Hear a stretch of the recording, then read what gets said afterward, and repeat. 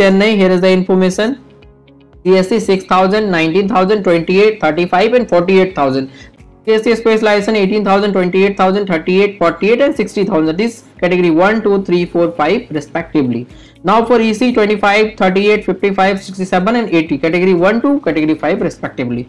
Other branches than EC there is mechanical, civil, electrical those will be available up to 45,000 also category 1, category 2 75,000, category 3 up to 1 lakh.